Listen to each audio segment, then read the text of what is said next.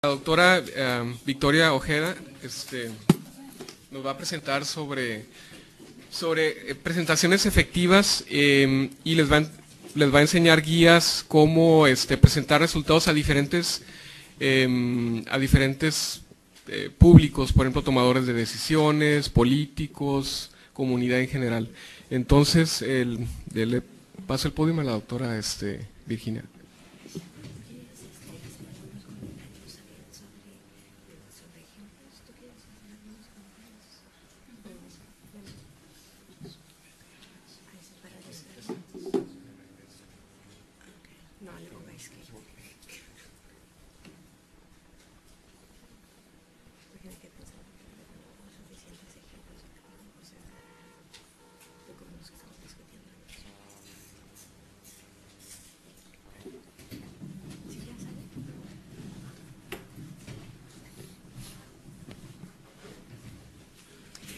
Eh, buenos días. Este, ¿Sí se escucha bien?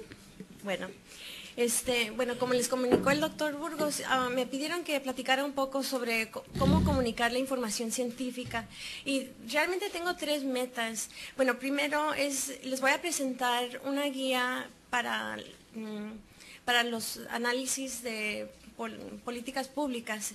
Ese sería el primer paso. El segundo paso este, que vamos a discutir viene siendo cómo, se, desarrolla una presentación pública, por ejemplo, lo que estamos haciendo ahora.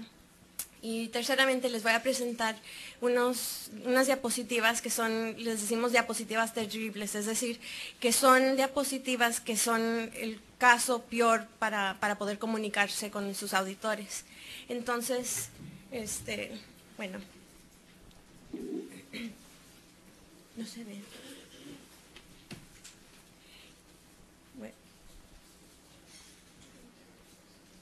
Voy a esperar que, que pongan aquí.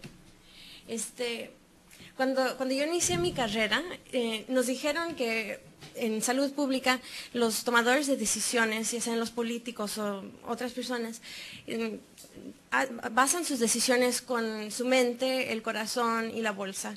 Es decir, este, toman las decisiones basadas en los datos, pero también el corazón, es decir, que que hay muchas veces que los casos personales, las historias que les puede contar uno como investigador o las personas afectadas, las poblaciones afectadas, este, y también la bolsa, es decir, los gastos que van a incurrir, son importantes para los tomadores de decisiones a todos niveles.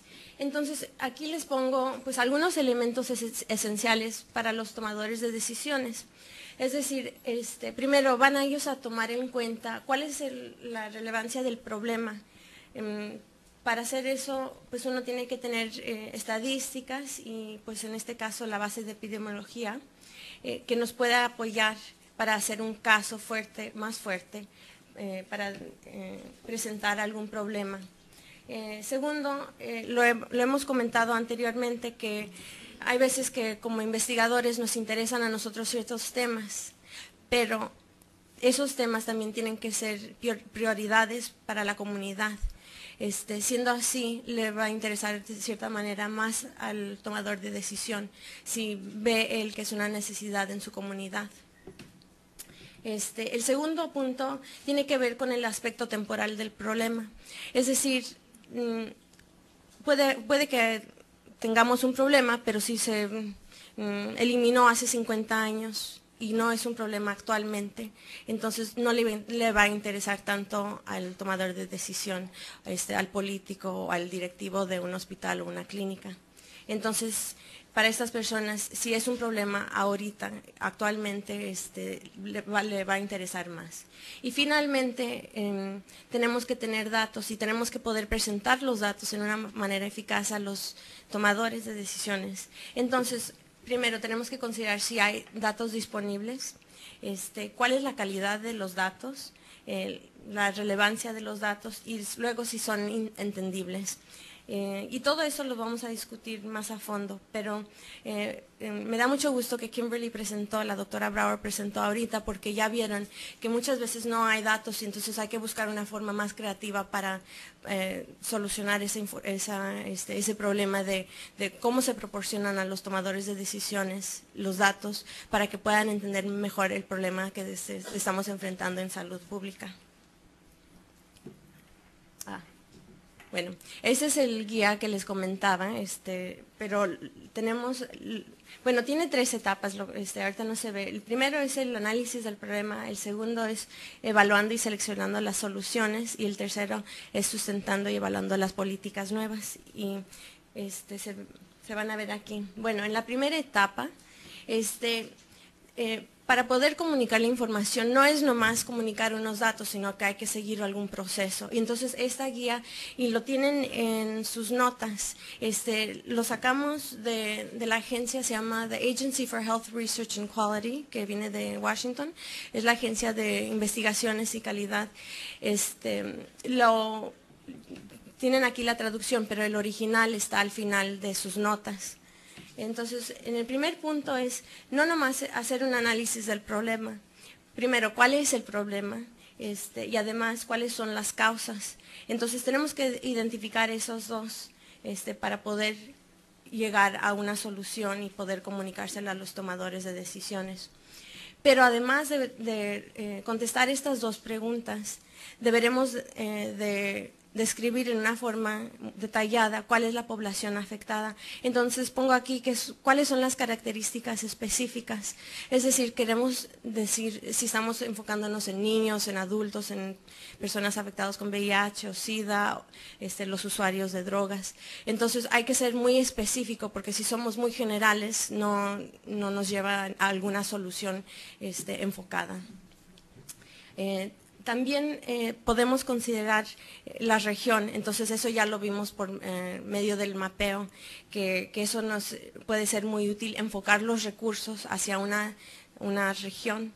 Y también puede ser considerada el ámbito, bueno, es decir, un hospital o una clínica. Entonces, quizás las políticas no sean para toda una comunidad, sino que se vayan a implementar en una institución, ya sea donde trabajan.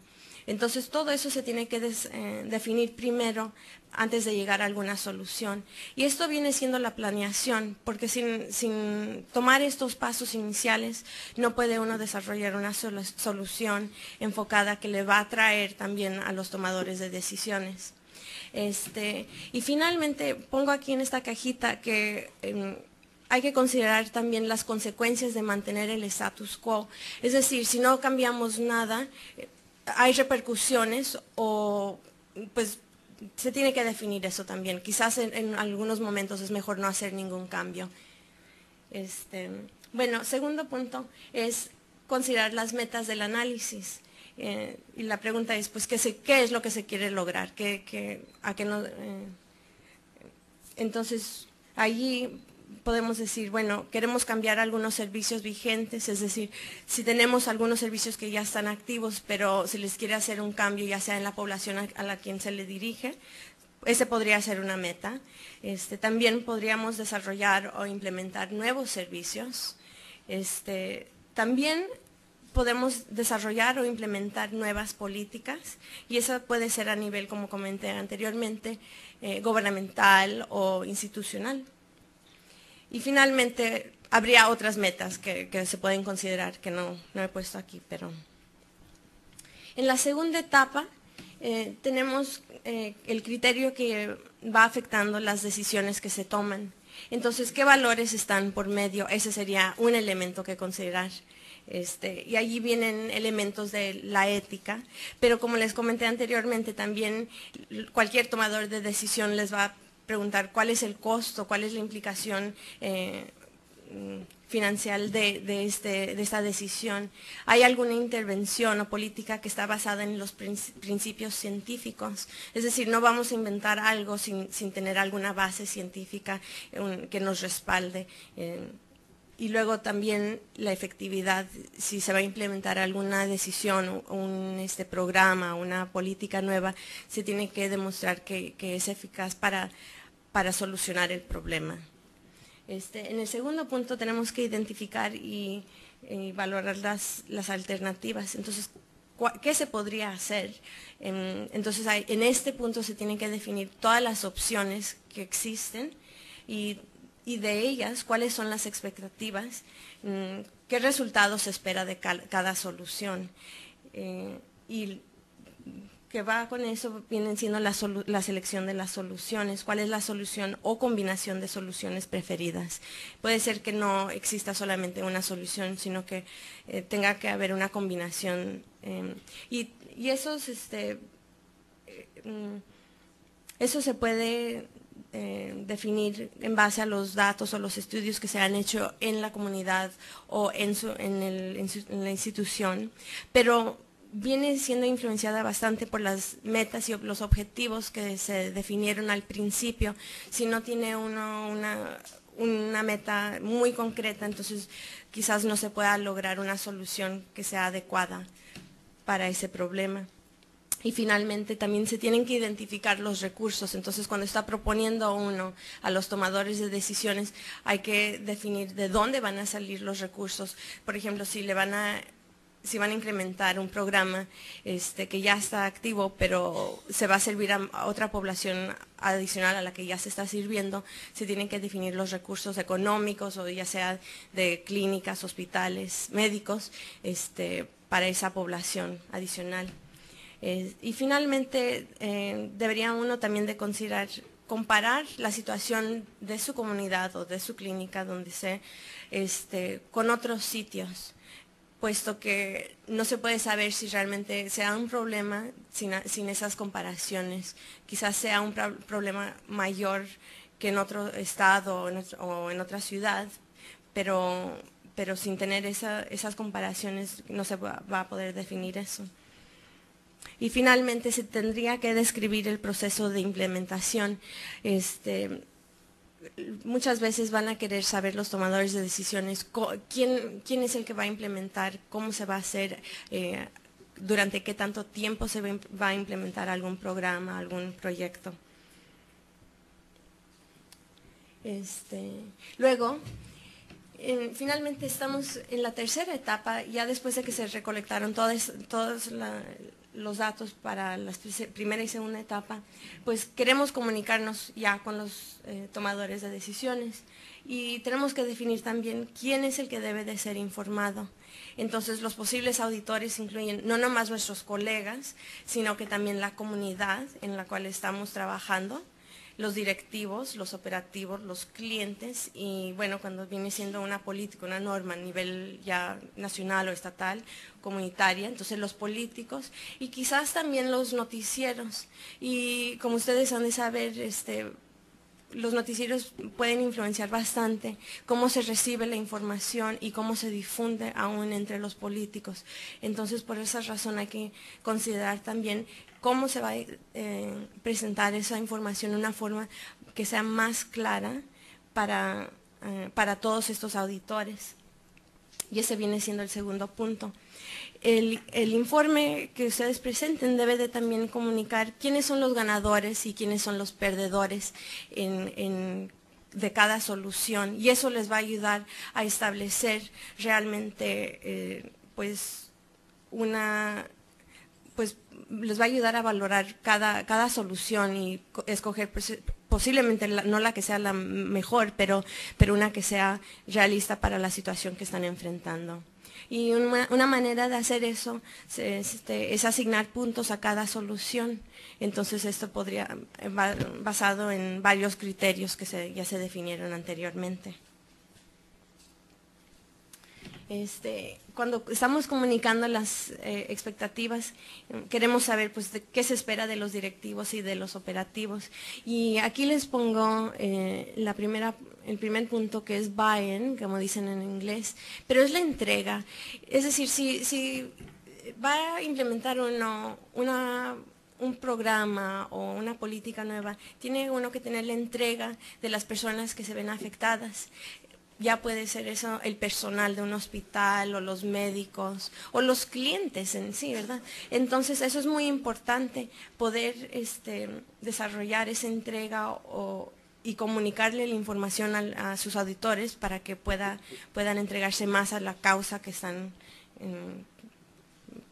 por la cual están luchando. Eh, además, mm, las expectativas deben de ser factibles y eso se comentó anteriormente. También no puede ser algo que sea tan imposible que no, la comunidad no lo vaya a querer aceptar.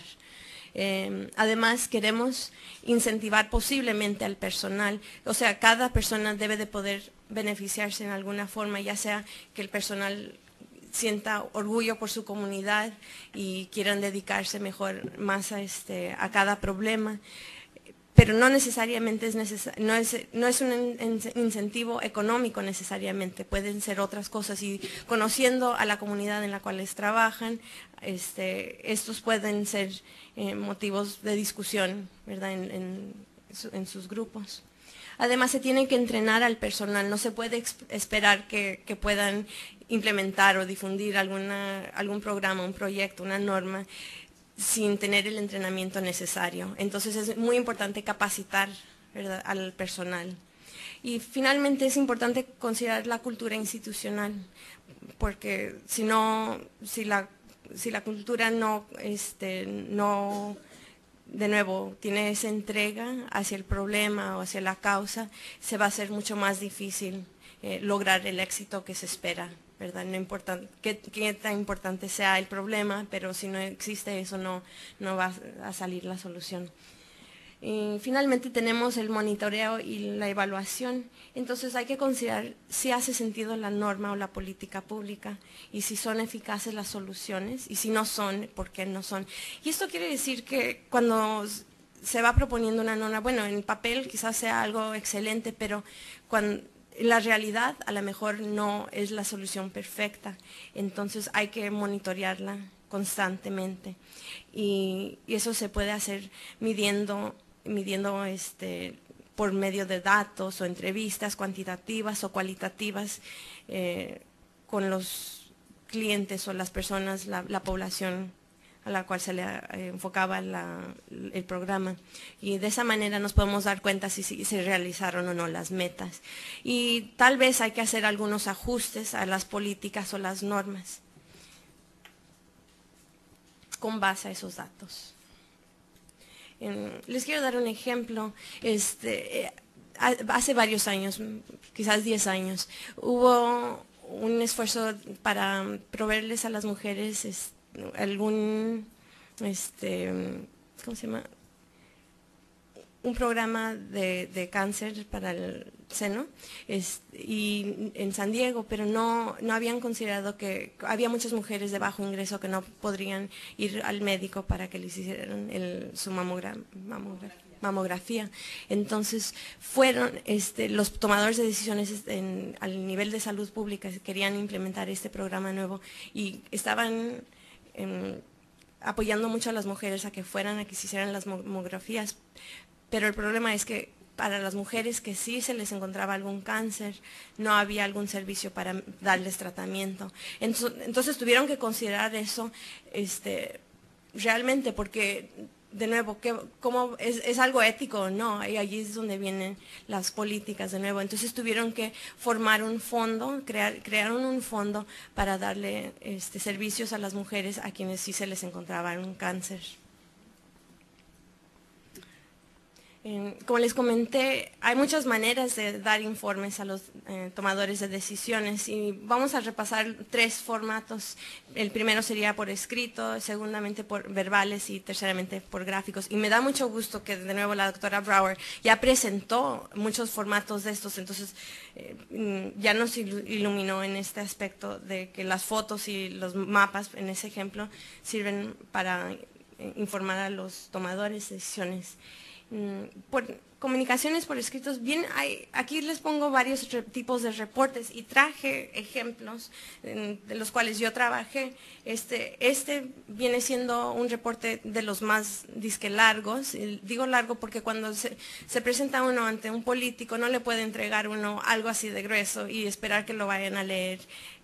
¿verdad? Quizás su, su, personal sí lo vaya a leer, pero no creo. Lo que es más eficaz es lo que viene siendo un reporte de una página, entonces les pongo de un lado y como, no sé, quizás no puedan ver, pero hay gráficas, hay dos, tres tres gráficas y una tabla. Y esto para un este, político o algún gobernador, quien ustedes quieran, puede leer esto fácilmente con mínimo texto, pero les puede explicar la situación y orientarlos hacia el problema y las soluciones, lo que ustedes quieran poner. Entonces, esto es una forma muy eficaz de comunicarse.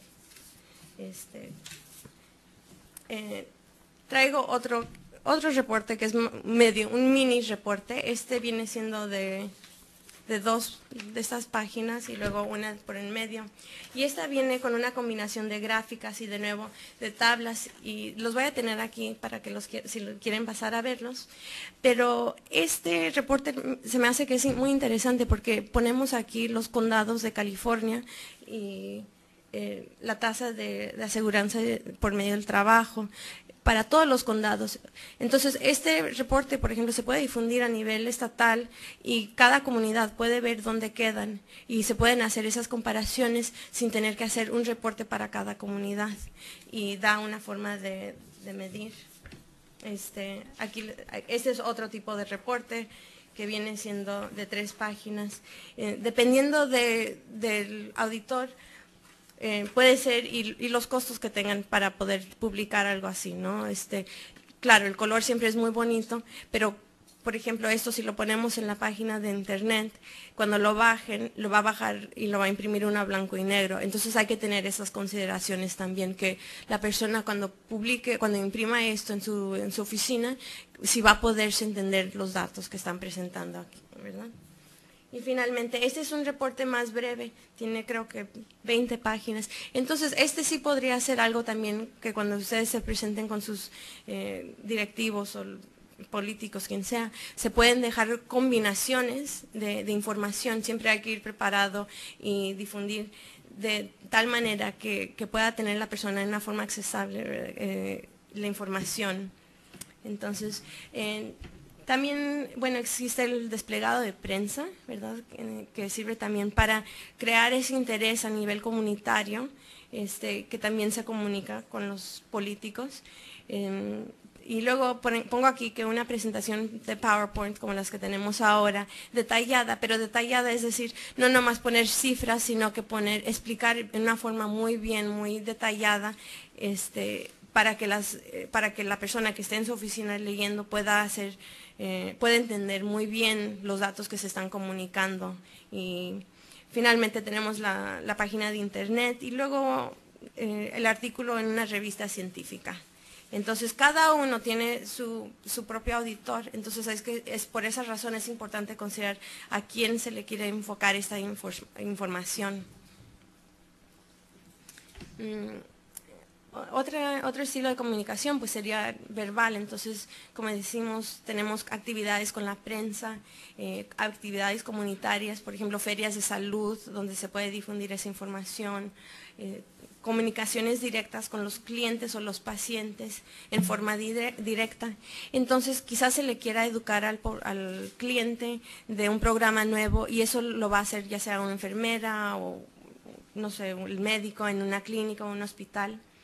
Y este, entonces eh, lo que quiero decir allí es que, esa comunicación es muy distinta porque da en cierta forma posibilidad para que la persona que esté escuchando que responda y eh, posiblemente si tiene algunas eh, inquietudes o preguntas pueda hacérselas directamente. Y finalmente, bueno, eh, si usted tiene una reunión este, con un político, un tomador de decisiones en el ámbito político, ya sea que vayan a México, entonces podrían llevar algún, algún elemento de estos eh, escritos y no nomás verbalmente explicar su situación, pero además dejan la información por escrita.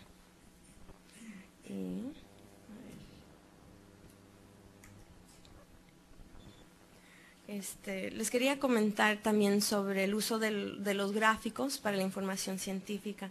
Bueno, ya vimos en una forma muy detallada cómo se pueden usar los mapas y aquí tienen un ejemplo. Eh, también tienen los, pasteles, eh, los gráficos de pasteles aquí, eh, que pueden comunicar también en una forma muy rápida, muy visualmente. Por ejemplo, aquí podemos ver que en azul no se ve, pero en, azul aquí muy claro, el 29% de, de, la población de California es de origen latina y realmente el 66 o 67% es de origen mexicano. Entonces, esto puede ser una forma muy fácil muy rápida de, comunicar esa información. Eh, em, en esta diapositiva tenemos información sobre el estado de salud de personas, em, por un lado, en el lado izquierdo, em, por raza, que, reportan estar en estado de salud bajo, y el lado derecho por estado de ciudadanía. Entonces también se pueden presentar barras de ambos, en, pues dos tipos de barras para dos poblaciones, una forma, y así no tener tantas gráficas. Mm, bueno, el modelo que les presenté anteriormente eh, viene con muchos ejemplos y el doctor Burgos lo subió a la página de internet si lo quieren consultar, porque viene no nomás con el modelo que yo les presenté, sino que viene con varios ejemplos. Y aquí esta figura les presenta eh, las poblaciones que se ven afectadas por un programa de seguro médico que se llama Medicaid o Medical en California.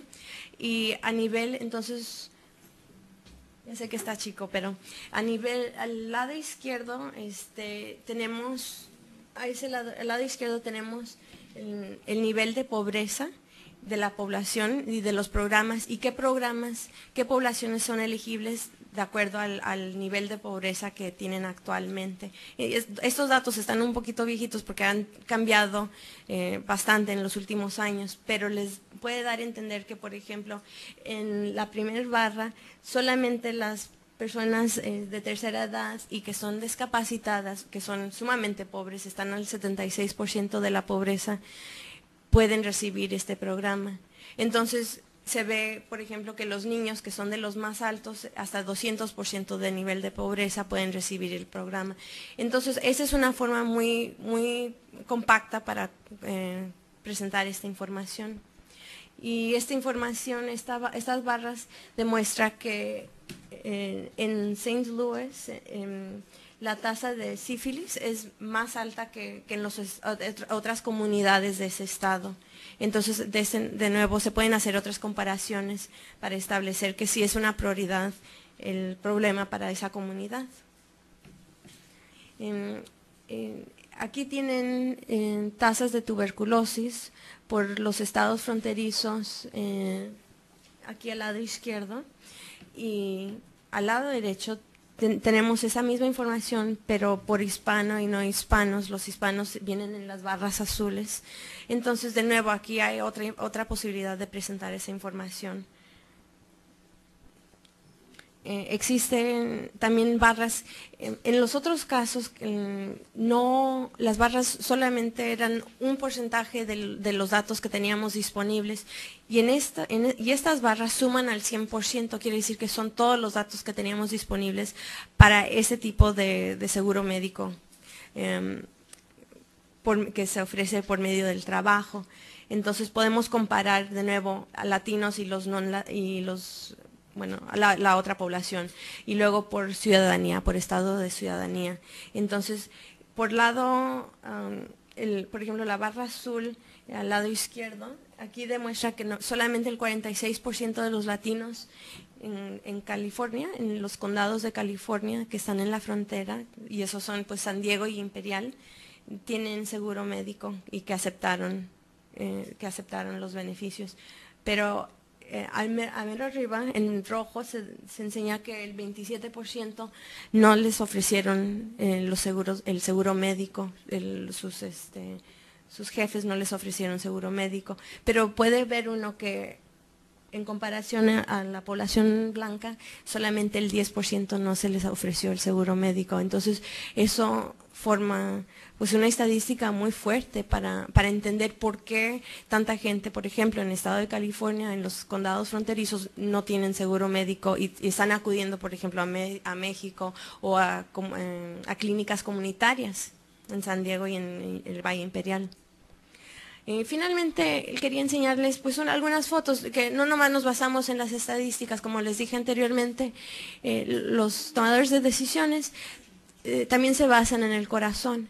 Y aquí tienen una foto, les puse la página de internet si la gustan consultar, de un, no sé si chica o chico, pero que está alistándose para inyectarse. Entonces, quizás en esta situación, pues quiere uno indicarle al, político que pues ya la población está muy joven o que están en ámbitos pues no muy higiénicos. Entonces, pues tiene que uno considerar eso también. Eh, esto acaba de salir ayer en el, periódico del, New York Times, que en Argentina ahorita está un nuevo tipo de cocaína que se llama Paco, no sé si lo han escuchado, que está saliendo y que está afectando a, la comunidad. Entonces, eh, las que son, bueno, claro, las más pobres. Entonces, ellos detallaron eso y tienen como una, no voy a decir fotonovela, pero algo por el estilo. Son 12 fotos del impacto de, esta nueva cocaína en la comunidad. Y aquí tienen una foto. Em, bueno, voy a empezar ahora con nuestros, eh, las diapositivas terribles. Aquí tienen una.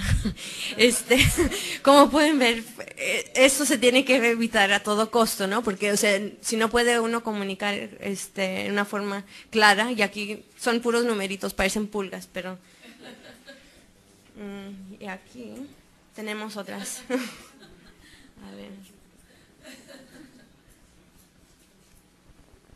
Está, medio grande el archivo. Este viene siendo, este, son unas diapositivas que tomamos de una presentación que habíamos dado anteriormente, pero no la dimos de este forma, no, es, no venía formateada en esta manera, este, la, cambiamos para, para este propósito. Como ven aquí tenemos un fondo negro con letras azules. bueno, no es mi preferencia hacer eso. Eh, yo prefiero, como ven, un fondo blanco con eh, letras en negro porque se ven, yo pienso, más de una forma más clara. Este, aquí les pongo mm, dos tipos de letras, un fondo claro, ¿verdad? Que está muy bien. Y arriba tenemos unas, eh, el texto está en, letras azulitas, azul oscura, pero abajo están en azul claro. Pues un azul claro con un fondo claro pues no, no sirve. De nuevo, la, misma tabla. Em, bueno, quizás pueda uno pensar, este, tenemos un fondo negro, las, letras blancas, y esas sí se pueden leer, pero están un poco chicas. Y tenemos una tabla que está llena de muchos datos. Y aparte, el texto está en rojo y está muy chiquito. Entonces, para, eh, para el propósito de una presentación como esta, no, no sirve. quizás si lo entrega uno como notas al auditor, sí, sí se podría eh, usar algo así, pero en este caso no. Em, este lo desarrollamos porque me estaban comentando que hay personas que les gusta poner mucha información en una gráfica, en, una diapositiva. Y aquí ven, tenemos una, dos, cuatro, cuatro diapositivos que pusimos en sola una este, y no se puede ver la información. O sea, lo único que queríamos que quería dar a entender aquí es que hay que tener cuidado de no poner tanta información para que si no se pierde la persona.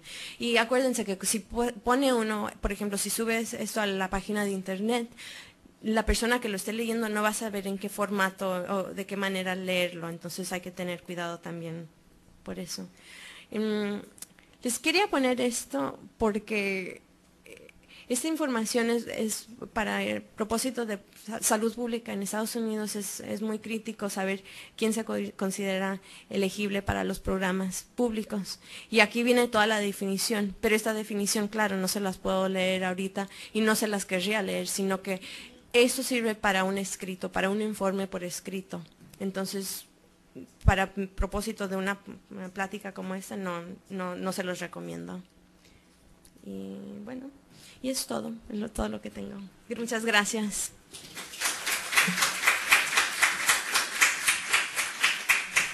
No, no sé si tengan algunas preguntas, sí.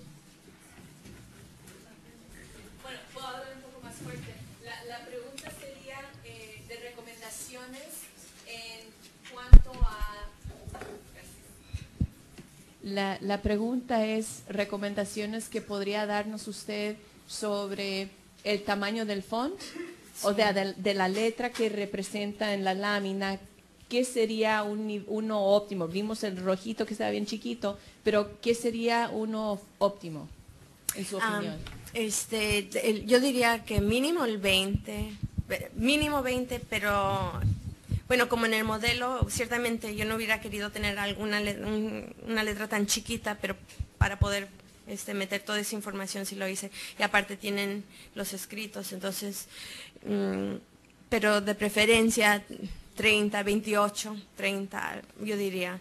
Ah, y además se me olvidó, este, pero déjenme pasar, no sé si pueda, aquí, este,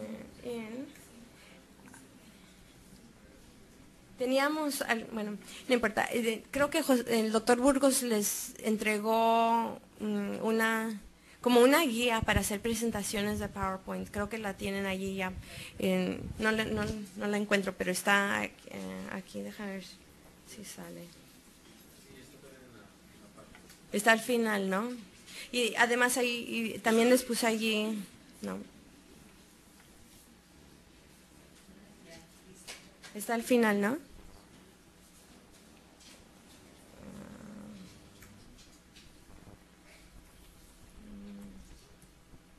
Ah, bueno, esa es una guía pequeña, nomás les puse cinco láminas, pero vienen aquí, este, viene el formato esencial, ¿no? O sea, siempre poner el, título del proyecto, de su charla, su nombre, su afiliación, el, dónde se está llevando a cabo la conferencia, la fecha, quién les financió el proyecto, si hubo algún formato. Mm, eh, luego también se tiene que presentar pues algún antecedente, pues un repaso breve, ya sea de unos estudios o de qué fue lo que impulsó eh, este, el proyecto.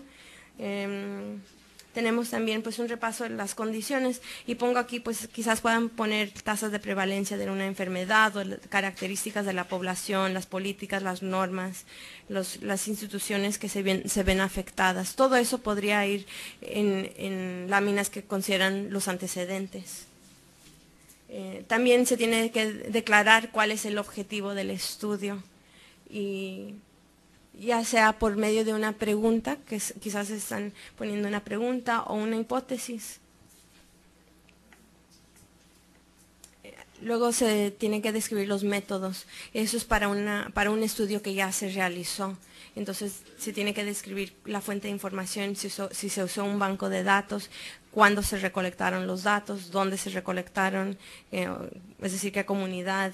Se tiene que describir la muestra, pues de nuevo las características de la población o de la comunidad y qué análisis se hizo. Entonces, describir, pues ya sea si se usó Excel o EpiInfo o algún programa en particular. Y luego una breve descripción de los resultados.